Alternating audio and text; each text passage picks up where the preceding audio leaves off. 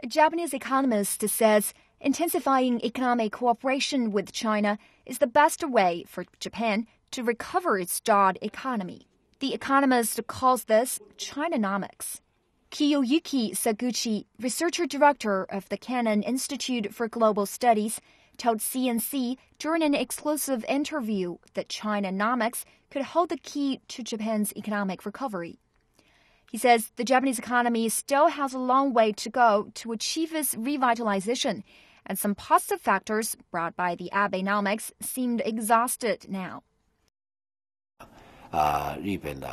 For those general companies, they need new demands, particularly under the circumstances of the Japanese government not being able to spend more due to its monstrous finance deficit. Therefore, they need the Chinese market.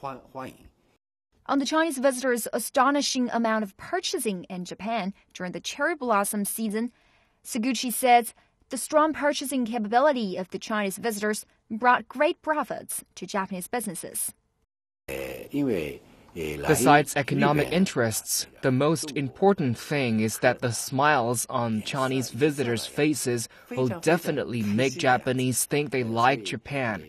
This will make relations between the two peoples close and will also serve to help bridge the bilateral political gap.